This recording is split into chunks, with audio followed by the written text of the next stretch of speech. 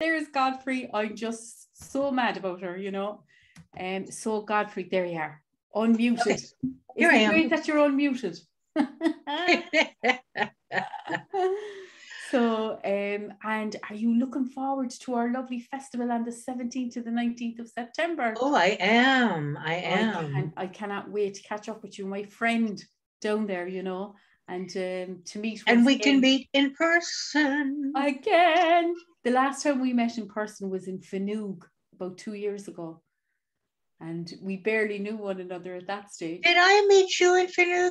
You did? You did indeed. Oh my goodness. Francis, Francis Kennedy introduced us, but briefly, but briefly, you know. So, um, and I'm looking forward, as you say, uh, you know, I, I, I have to take you out to lunch because you gave me a beautiful picture mm-hmm. and I mm-hmm. love it. And it's going to go up. And it better be an expensive lunch too. Absolutely. We'll have to, we have to have all the accoutrements, a little bit of wine, it, that could be dangerous now with the two of us. That's the only I, Oh yeah. so Godfrey, I'm going to let you off. I can't wait. The last time you told us a story, there was mice involved and it was pure true and I loved it. So I can't wait to see what happens tonight. Well, okay then. Now, we've talked about hands across the water. Well, we're going to go far away over to the other side of the world because I'm going to tell you the story about Ms. Possum. Now, Ms. Possum loved to eat. She loved to eat snails and ants and ticks, but what she liked more than anything else in the world was frogs oh, she would get herself some frogs. She'd take her tote sack and she'd go down to the frog pond and she'd catch herself a mess of frogs, put them all in the tote sack, go home and cook up some frog casserole, frog fricassee. And if there was a picnic coming up, she'd made the best frog salad sandwiches. Well, she'd go down there, but after a while, them frogs started catching on. They started to get a little smart. So that when she went down to the frog pond with her tote sack, them frogs would all jump into the pond so she couldn't get to them. They'd sink all the way down to the bottom of the pond and then they'd float right back up to the top with only their little bug eyes showing. And they'd say, You can't get us you can't get us. And she couldn't either. She had to go home with an empty tote sack. And after a while, she was just getting so hungry. She'd have to go to the dumpster and she'd have to get herself some garbage. And she'd go home and she'd make some garbage casserole and garbage fricassee. And if there was a picnic, she'd have to take garbage salad sandwiches. Well, it was just awful. Just, just awful. Well, one day she was cooking up some garbage stew. And her friend, Ms. Molly Hare, come in to the house. And she said, Oh, we, Miss Possum, what are you a cooking? That smells nasty. And Miss Possum said, Well, I'm cooking garbage stew. Y'all want some? And Miss Molly Hare said, No, I don't think so, honey. I don't think why why on earth are you cooking garbage stew? So Miss Possum told her. She said, I used to go down to the frog pond and catch myself some frogs, but they got smart all of a sudden. And now when I get down there, they all jump into the pond and they sink all the way down to the bottom. Then they float back up to the top with only their little bug eyes showing. And they say, You can't get us. You can't get us. And I can't get them neither. Well, Ms. Possum said, Ms. Molly Hare, that is no way for a possum to live. We're going to have to think on it. What can we? Oh, I got an idea. Now listen, this, she looked out the door. She looked out the window, make sure no frogs was listening. And she said, I better whisper so they don't know what we're up to. And she said, We're going to go down to the bus stop. Could you go send them please, but get some. Okay. All right. Well, Miss Possum said, I think it's going to work. Let's do it. So she got her tote sack and they went off towards the frog pond. But before they got there, Miss Molly Hare hid in the bushes. And Miss Possum went there. The frogs heard her coming. They all jumped into the frog pond, sank all the way down to the bottom, then floated back up to the top with only their little bug eyes showing. And they said, You can't get us. You can't get us. And Miss Molly, Miss Possum, she sighed and she said, No, no, I don't even know why I'm trying, why I've done.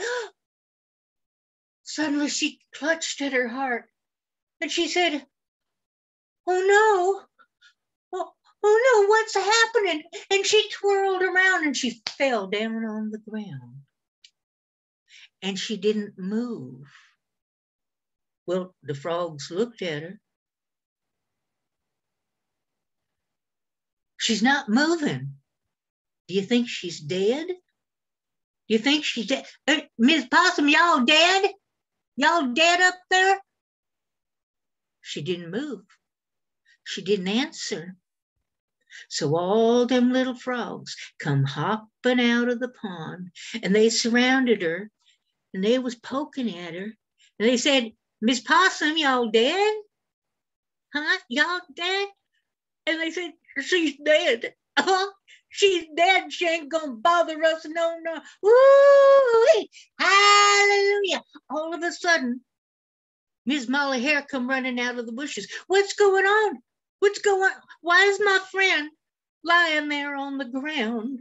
And then Frog said, "Well, she's dead. She's dead. She can't bother us no more." And Miss Molly Hare said, "What? Why are y'all laughing? My best friend in the whole world is gone and done died. Oh, and well, the frogs felt bad after that. They felt so bad. They said, well, well we're sorry. We're sorry. Well, maybe, well, is there anything we can do? Miss Molly Hare said, well, y'all could help me bury her. Would y'all dig a hole to bury her in, my friend? Uh, and the frog said, Yeah, we'll do it. We'll do it. We'll do it. And they started digging all around Miss Possum. They dug around her and they dug under her so that her body was just sinking right down into the ground where they was a digging. And they got about that far down and they said, uh, Ms. Molly Hare, is that is that deep enough? And Miss Molly Hare said, Well, can y'all jump out? Well, all them frogs would jumped right out, no problem. She said, No, no, it ain't deep enough yet. Just keep on digging. So they started digging. They was digging here. They was digging there. Some on some side and none on the other side. And they was digging under her and they were got a big old deep hole. And they said, Miss Molly Hare, is it deep enough yet? Miss Molly Hare said, Can y'all jump out? And they said, Yeah, I think so. Now jumped. Some of them slid back in, but they jumped and they all managed to get out. And Miss Molly Hare said, No, ain't deep enough yet. So they was digging some more. They dug and they dug and they dug and they dug until they got a deep oh, old hole dug. And they said, Miss Molly Hare, we're tired. Is the hole deep enough? Miss Molly Hare said, Can y'all jump out? And they jumped. And they jumped and they slid back down. They could not reach the top. And Miss Molly Hare said, Well, you know, I think it might be deep enough now what do you think, Miss Possum? Miss Possum sat up and she said, I think it's deep enough now. And she started grabbing frogs and putting them in her tote sack, and she tied a good knot in it, threw it on up to Molly Hare. Molly Hare helped her out of the hole. They went back to Miss Possum's house. She threw out all that garbage stew and she started making, oh, she made herself the best, the best frog meals. She canned frog pickles. She put the frog stew in jars. She made frog casseroles, put them in the freezer. Oh, she just cooked up a whole mess of stuff because she knew that them frogs down at the frog pond the ones that was left and the young ones, they were going to catch on to her again. But she had enough put away till the young ones grew up without knowing what was going on. And you know what? Ms. Possum ate happily ever after. oh my goodness. That's I'm absolutely exhausted after that because I was I was being a little froggy in my head while you were telling that story, Godfrey. Godfrey. I, we, we used to do plays of that when I taught preschool, oh. and I read the kids loved it. But one time, only one time, one little girl said, "But that's mean, Teacher Godfrey, eating all those poor frogs." Godfrey, did you hear about um, the chicken who didn't want to go into the library because of COVID? No, I didn't. So she turned to her friend, the frog, and she went, buck, buck, buck, buck, buck, buck, buck, buck. And he went in and he brought out a whole load of books. And she said, Do you like those books? And he went, Read it, read it, read it. I'm telling you, they, they should leave the two of us off together, but they will in Listowel from the 17th to the 19th of September. Yep. So if you want to join the fun, make sure I'll also if if you if if you like stories about frogs, I will tell the true story about the time my sister turned into a bullfrog. Oh lads. I wouldn't lie to you. Lads, you don't want to miss that. And she never tells lies. It's always pure true. Thank you so much, Godfrey. Thank you. Talk mm-hmm. to you soon.